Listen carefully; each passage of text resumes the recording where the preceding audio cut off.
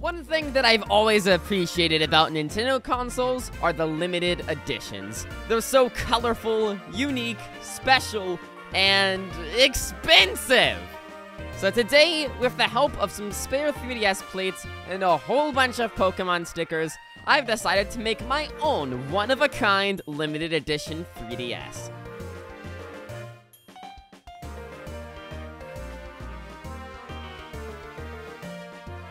After I put on all the stickers, some clear spray paint was applied to seal the stickers so they don't peel off.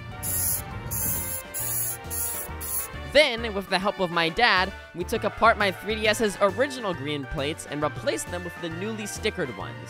And this is the final result. Now I can say that I own a very limited, limited edition 3DS.